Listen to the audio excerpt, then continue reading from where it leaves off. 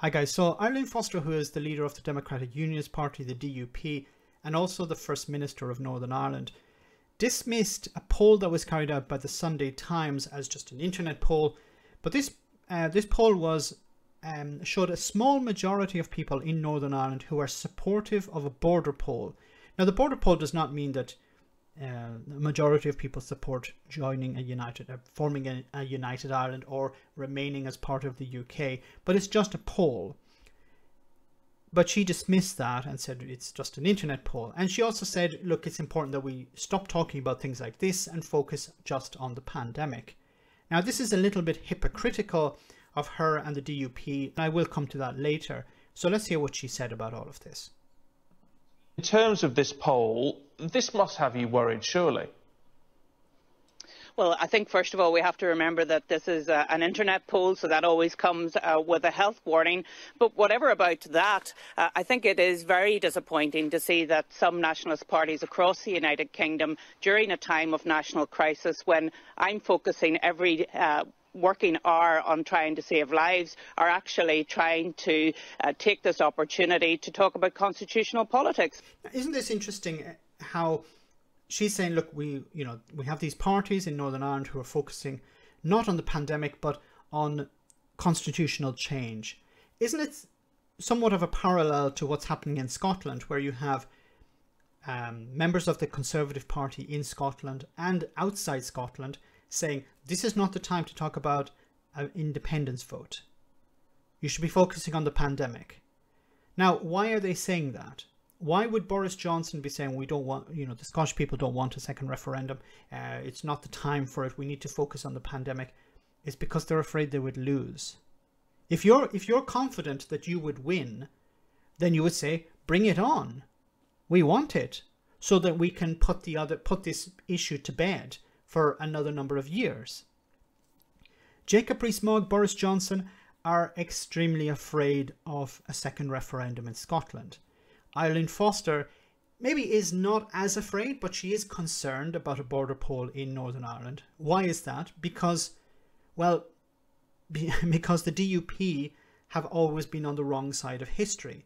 They were on the wrong side when it came to the Good Friday Agreement. They campaigned and voted against it although the majority of people in Northern Ireland are supportive of the Good Friday Agreement and their support continues to increase, they were also on the wrong side when it came to Brexit. They were camp- they campaigned for Brexit. They're, they were supportive of Brexit.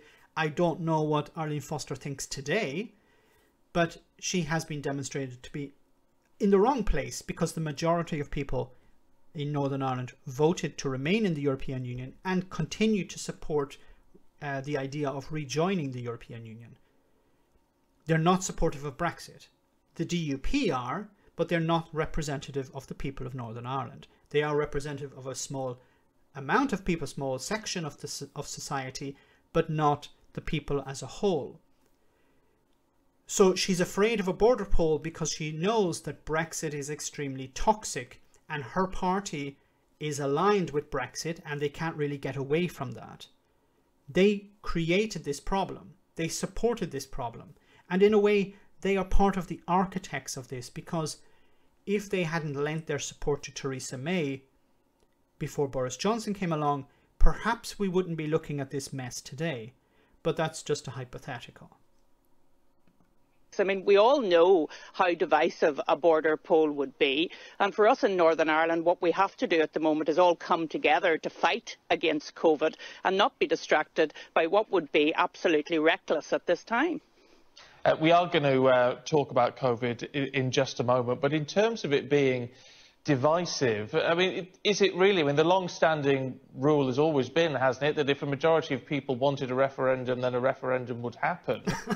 I love the way that he just batted away her response there. Yeah, yeah, Arlene, you're just talking crap. because this is not divisive. This is part of the Good Friday Agreement. Now, remember, the DUP were against the Good Friday Agreement. They're still against the Good Friday Agreement, although they will try to use it whenever they can to say the Good Friday Agreement is is threatened by um, is is threatened by us being part of the EU or some sort of crap like that. Um, this is part of the border poll is part of the Good Friday Agreement, and it's a very important part of the Good Friday Agreement is also consent. If the people of Northern Ireland vote and support becoming part of a united Ireland, that should be respected. If the people of Northern Ireland would prefer to be part of the UK, that should be respected. Why does why does um, Arlene Foster have a problem with that? You can imagine. Uh, are you dead against that now? No, it's not that I'm dead against it. I can argue for a United Kingdom every day of the week.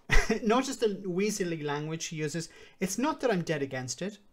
Of course, she's dead against it because she knows it would probably lose. Now, I don't think it would lose. She probably thinks it would lose. Otherwise, she would be saying, yeah, I don't have a problem with a border poll.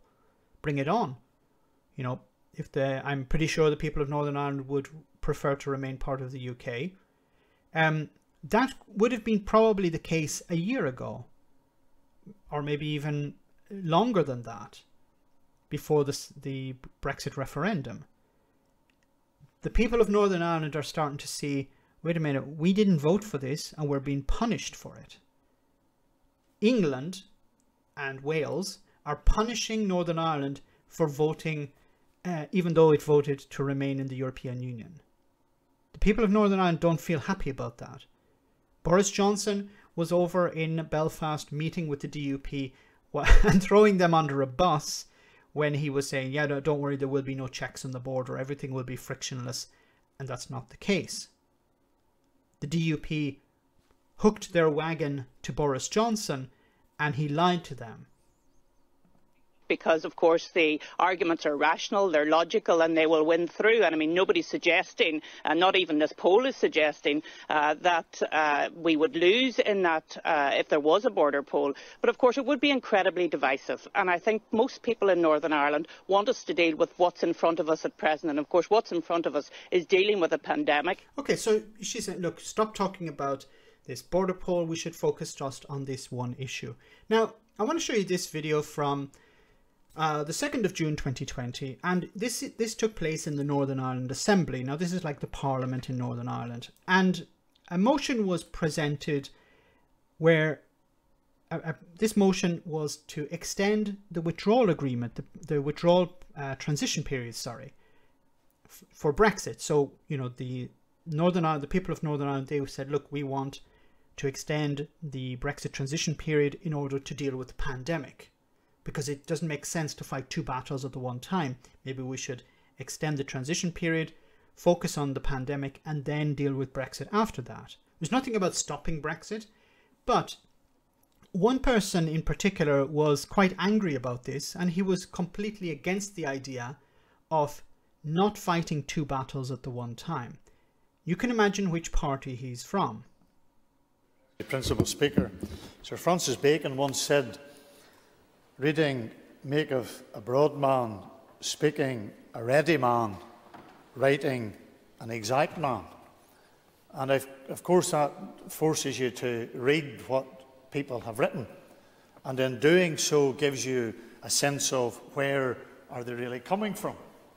And despite all the words that we have seen both in the motion and in the amendment, it brings us back to one salient point that there are those who are still opposed to us leaving the undemocratic and over bureaucratic European Union. undemocratic, over bureaucratic European Union.